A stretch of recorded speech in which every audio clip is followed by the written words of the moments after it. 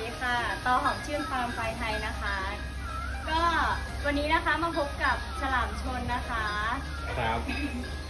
ฉลามชนนี่ก็ถือว่าเป็นควายงามอีกหนึ่งตัวที่ทุกคนต้องคิดถึงเนาะ ใช่ครัค่ะบแล้วฉลามเขาเป็นควายใจดีค่ะ ครับ เวลาไปออกงานเนี่ยใครมาขี่ก็ได้เลยค่ะเขาเขาไม่ค่อยขี้หงุดหงิดอะไรอย่างนี้ฉลามชนได้ขี่ได้ ใช่ค่ะขี่ได้เลโอ้ย โห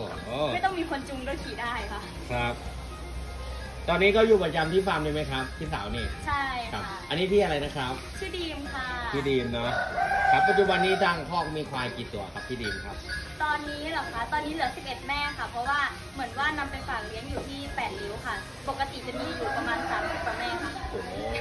แล้วเหมือนมันมันแรงอะค่ะ ตอนนี้แล้วก็เหมือนน้องต้องกินแต่ฟางอะไรอย่างเงี้ย ก็เลยเอาไปเลี้ยงที่8ริ้ว เหมือนเขายังมีหญ้าสดอะไรอย่างเงี้ยให้น้องกินก็เลยเอาไปฝากเลี้ยงไว้ก่อนค่ะ ครับ แล้วถ้าเกิด พอมีฝนมีหญ้าอะไรอย่างเงี้ยก็จะเอาน้องกลับมา